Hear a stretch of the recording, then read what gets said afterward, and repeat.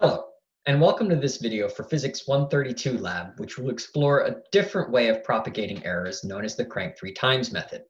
The material in this video is based upon this content from Jay Denker and used with permission.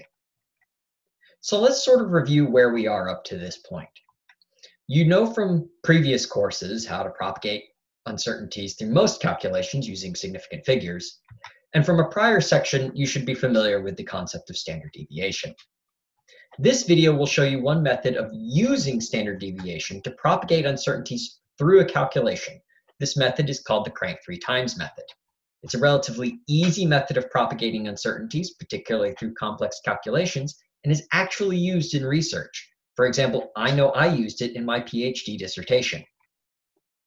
So let's explore how to implement the crank three times method for the simplest case where there is only one variable in our calculation with any uncertainty. So step one is you do the calculation in the usual way, using your nominal best estimate values, usually the mean, for each input variable.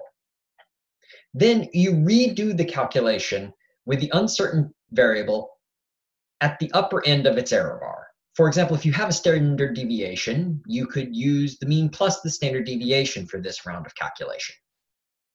Finally, you redo the calculation a third time using not the mean, but the mean at the lower end of its error bar. So again, if you had a standard deviation, you could use the mean minus the standard deviation. Use the differences between steps two and one and steps three and one to get your uncertainties. As usual, you only keep one digit of uncertainty and round your central value to that same number of digits. And furthermore, as we'll see in our example, asymmetric uncertainties are perfectly okay. You see these all the time in research. And this method will actually give you asymmetric uncertainties. So let's do an example.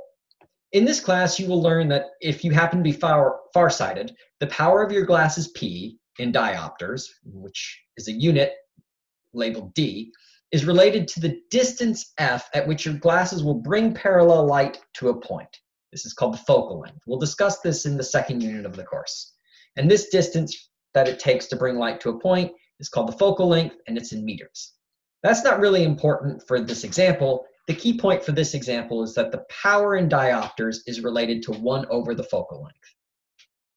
So now let's say we take a person who's farsighted and we take their glasses and we measure this focal length.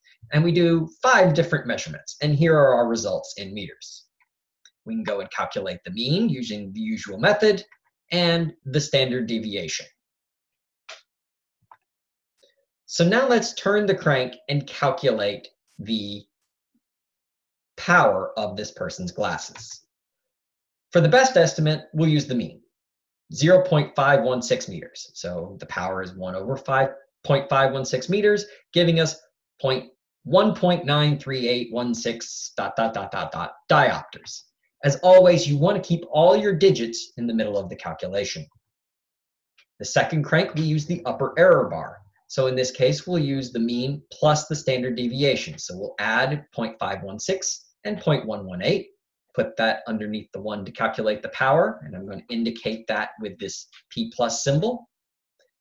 And the result will be 1.57 blah, blah, blah, blah, blah diopters. The third crank, we do the mean minus the standard deviation, and that gives us 2.514 blah, blah, blah, blah, blah diopters. Now we've done our three cranks and we can use the differences to get the uncertainties. Upper uncertainty on power actually comes from the lower uncertainty on focal length, which may seem counterintuitive until you think about the mathematical relationship. It's reciprocal. So a big number in the denominator makes a smaller number. So our upper uncertainty, we take P minus, which is where we use the mean minus the standard deviation, and subtract that from our central value to get this plus 0.57597 dot dot dot. We then use P plus to get what in this case is actually our lower uncertainty. And we get a negative 0.3126 dot dot dot. And then you'll notice here that the results are asymmetric. This is actually a positive attribute of this particular calculation technique. So our final number is 1.9 plus 0.6 minus 0.4 diopters. So a couple things to point out. One, we're only keeping one digit of uncertainty and rounding our value at that number of digits. And we have asymmetric uncertainties. And this is how we write asymmetric uncertainties. You know, we do the plus and the minus. If you look in research papers, you'll see numbers like this all the time. So let's compare this crank three times result to what we might get from significant figures. For significant, so our crank three times result gives us, as we just saw, 1.9 plus 0.6 minus 0.4 diopters. Significant figures, all of our numbers had three significant figures, so the sig fig rules would tell us to keep three sig figs, 1.94 diopters, where this last digit is assumed to be uncertain. And if we wanted to write it in our normal way, we would say 1.94 plus or minus 0.01 diopters. A couple of things to note, the crank three times method gives us asymmetric uncertainties like we already saw. And in this particular case, that is, we think, a benefit. Whereas the sig fig rules will always give you symmetric uncertainties. The sig fig rules assume the last digit is uncertain. And so by construction, the uncertainties are always symmetric.